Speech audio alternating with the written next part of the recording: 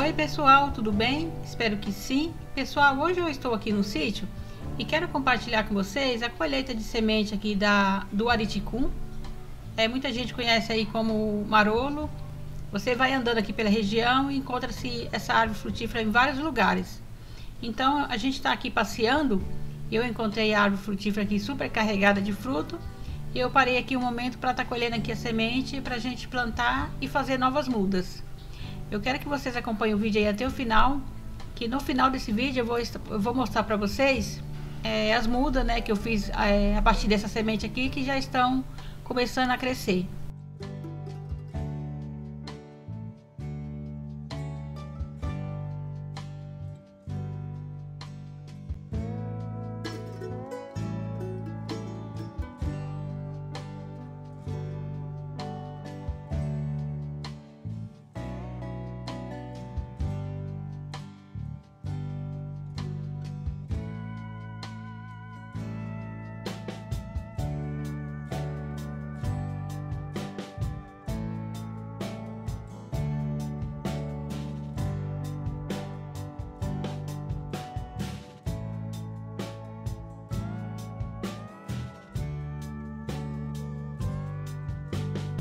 Vocês aqui as mudinhas do areticum ou marolo do cerrado.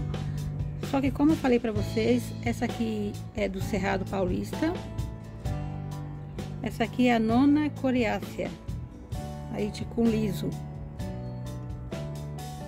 Olha aí, pessoal, eu coloquei aqui as sementes nesse vaso.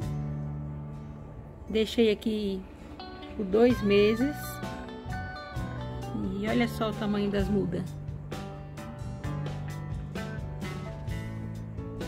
Muito legal, né? Já está quase na hora de fazer o transplante.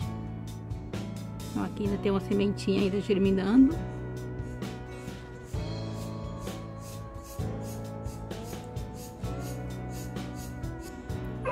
A folhinha dessa frutífera é bem dura, né? Bem firme. Aí tem várias mudinhas aqui. Então é isso aí, pessoal. Esse é um vídeo aqui atualizado, mostrando para vocês o nascimento aí das mudas do Ariticum. Tá bom? Então é isso aí. Tchau, tchau.